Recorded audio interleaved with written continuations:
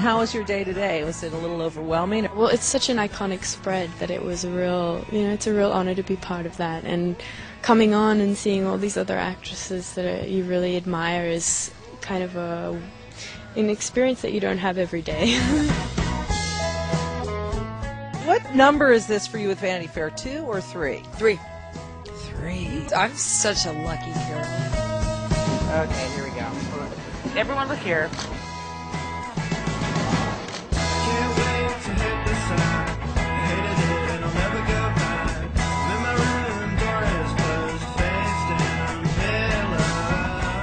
So, who do you get asked more about? So it would be George Clooney, not Rob Pattinson, because At this at this point, it's George Clooney. Um, I've kind of like given up on talking about Rob. I usually just like say he's great, and then. I so are you Team Jacob or Team Rob or Team Bella? I guess, right? Yeah, Team Kristen.